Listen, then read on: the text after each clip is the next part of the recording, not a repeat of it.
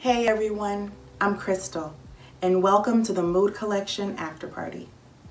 So, in my last post, I shared with you the influences and the inspiration that led me to creating the Mood Collection. And throughout that process, I learned a lot about myself as an artist. So, one of the biggest lessons that I learned while creating the Mood Collection is that our spirituality and our creativity are divinely linked whenever you get an idea, understand that no idea just comes from the top of your head. That idea is coming through you and has chosen you for a very specific reason.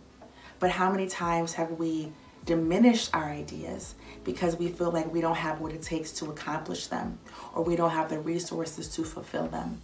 I emphasize this in video five more than enough.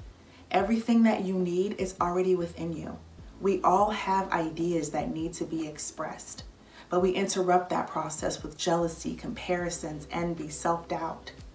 When you make excuses for yourself, you're literally excusing yourself from your dreams.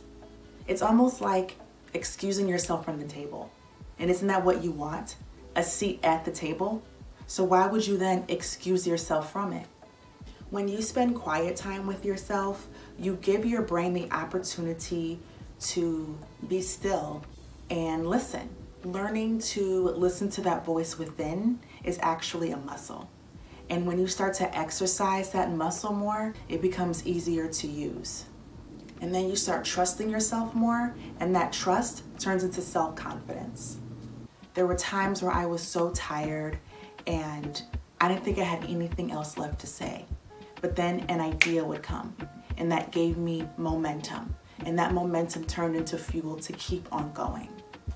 All right, everyone, thank you for tuning into the Mood Collection After Party. I hope you enjoyed the conversation. I'll see you all in my next post. And if you haven't already, subscribe to my playlist. The Mood Collection is up on Spotify.